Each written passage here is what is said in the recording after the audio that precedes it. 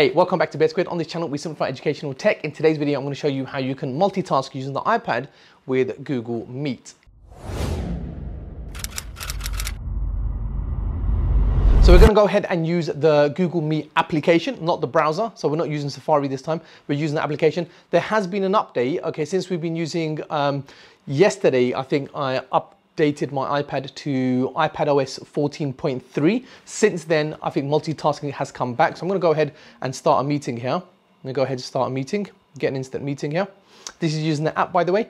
Uh, and what I'm gonna do is I'm just gonna invite, so I'm gonna go ahead and share this link via email. I'm just gonna send this to a couple of people. All right, there we go. So I've sent an invite to a couple of students. I'm gonna get them to join in. And what we're gonna see here is I'm gonna show you how we can screen share and start multitasking as well at the same time, okay? So I'll let, let me wait for the students to join in. While that's happening, what I'm gonna do is I'm just gonna go ahead and, here we go. So that's one of our students joining in. Hey Hafsa, how's it going? You okay? Let me put my volume up. Here we go. And who else? Is Yusuf joining us?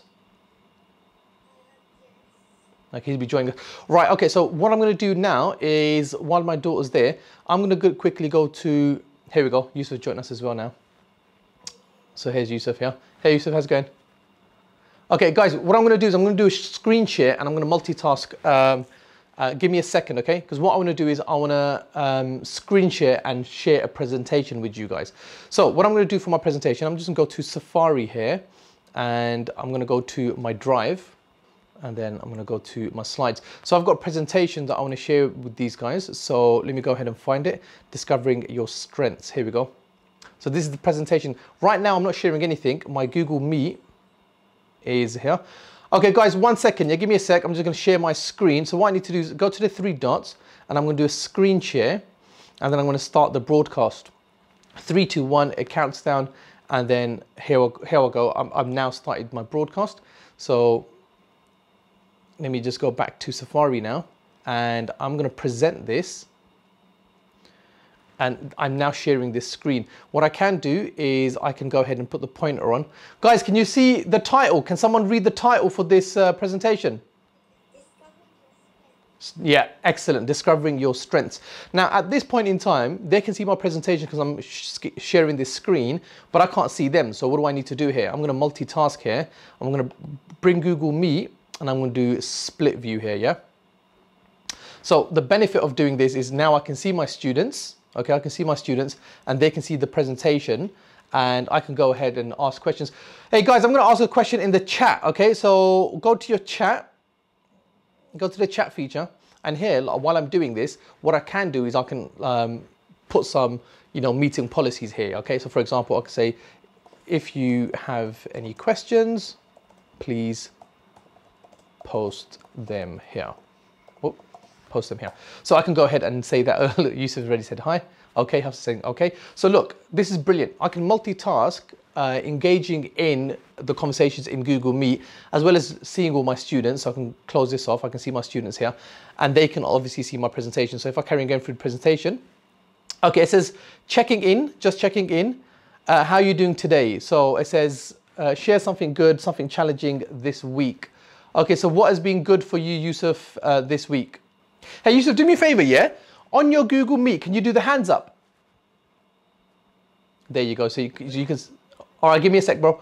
So here you can see, look, there's a little hands up as well on, uh, on Yusuf's profile. So I could use that to um, engage my audience as well, engage my participants. So what else can I do with multitasking? You can do whatever you want with multitasking. What I usually do is I will open up, for example, GoodNotes here. Okay, I would have something here. Uh, I don't know, parallel perpendicular lines. So I would have something open up here with GoodNotes. My students can, Yusuf, can you see uh, what shape is on uh, the meeting here? A triangle. a triangle, excellent, perfect. So while they can see that, what I can also do is I can bring a calculator in, in as well. I could do a floating calculator. So this is side loading, look, see, I can side load a calculator. Hafsa, can you see the calculator? Okay, what number am, am I typing there? 147, excellent. So you see what I can do is I can side load my calculator uh, as well as have the Google Meet there and as well as my notes. And what, what the benefit of that is I can of course use my Apple Pencil to continue to annotate here. Okay, I can continue to annotate, maybe do a shape. Okay, there's a circle and so on and so forth. I can write on this, okay, as well as see my students, as well as engage in the meeting. Let's see, uh, guys, type in a, um, a question in the chat. Just type something in the chat, Yusuf. Hi, okay, hi. Hello, everyone. Hi, hello. Oops. So I'm gonna type in hello. Do a little wavy hand, send that. So you see, the benefit of this is that we can engage in the chat uh, at the same time, I can see my students. This is a limited view anyway, because I can't see everyone here. Unfortunately, on the mobile app version, you can't see everyone. It doesn't populate uh, everyone here. For example, if I had more students, let's say I have 16 or 30 students, what I could do if I wanted to pick on someone particular, okay, I could click on the three dots, go to add others, and then click on a student and just pin that student. So now I can see the camera, the profile of that student. I can engage in a conversation or ask a question to a particular student. The benefit is that I can multitask now without the app crashing on my iPad. So this is very powerful to use um, the iPad for multitasking during Google Meet. Okay, so here I am showing my uh, presentation. In fact, I'll go, go back, go back to my presentation here. Okay, I could do my presentation as well as do some side notes uh, and I can actually um, side load the Google Meet if I wanted to. So guys, what can you see on the screen right now then? What can you see on the screen right now? Two screens, a split screen, isn't it? Yeah. So um, I might want to say, for example, if I had my notes here, okay, I, look, I might have some of this stuff. So I might have my notes here. Students can see the notes while they're looking at this. We can tick off some of the you know, ideas that we've got going on here, as well as look at the presentation. I can click on the presentation and go through some of these uh, points in the presentation. And all the while, if I do want to see my students, okay, I can just go ahead, sideload my Google Meet here, go to the chat and see what the situation is. I can always put my hand up and get students to wait for me. So when my hand's up, students are gonna uh, simmer down, quiet down, pay attention, uh, do whatever they need to do to transition. Now that depends on what you know I've set as my meeting policies. Whatever you set as your meeting policies is going to help you in making sure that your participants stay engaged. So my hands up might mean, hey guys, just simmer down for a minute, start thinking about the content that we've covered, and I'm going to ask a question in two minutes time okay? So it might be a transition period when, when I put my hand up. Thank you for watching. As always consider subscribing turn on notifications check out the playlists for some of the Google Meet. We're going into semester two now which is fantastic because I mean I use this day in and day out teaching online. I need the split screen because I usually what I have going is I usually have going my um, GoodNotes and then I side load my uh, what do you call it? I side load my uh, calculator here yeah and I can have multiple side loaded apps. So this is my Google Meet. This is my calculator. If I get these out of the way, I've got my notes here.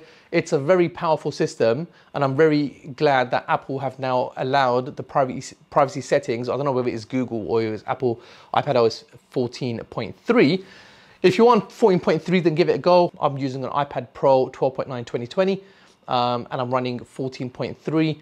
The students here, uh, I think are running on an iPad 6th gen and an iPad Pro um, second gen as well. So they're running 14.3 as well. So it is available for a lot of iPads here. Make sure you update. Um, and as always, I'll see you in the next one. All right, peace out.